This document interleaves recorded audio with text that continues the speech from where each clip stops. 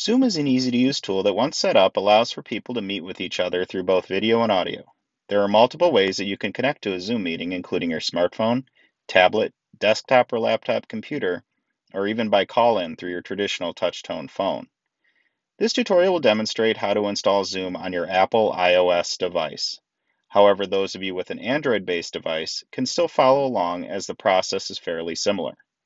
We will then show you the fastest and easiest way to connect to your first Zoom meeting.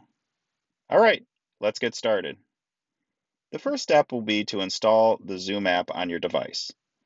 To do that, you must locate the App Store or the Google Play Store on your home screen. Tap it, and then use the search box to search for Zoom. Once you locate the app, Zoom Cloud Meetings, you will tap the Get button to begin downloading the app. Once the app is downloaded, you can return to your home screen and open it for the first time.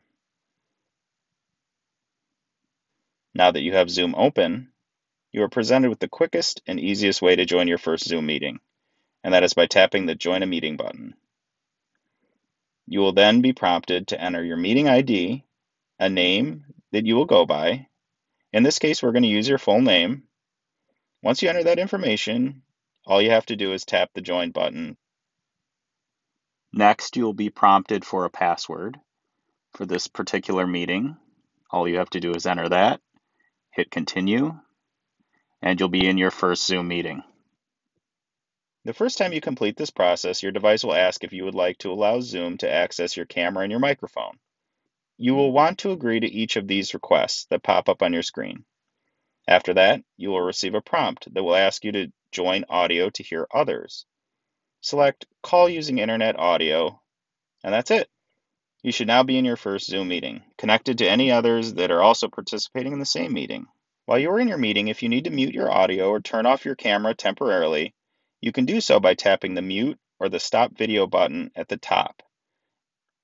Finally, when the meeting is over, you can tap the big red end button in the top left corner of your screen to exit the meeting.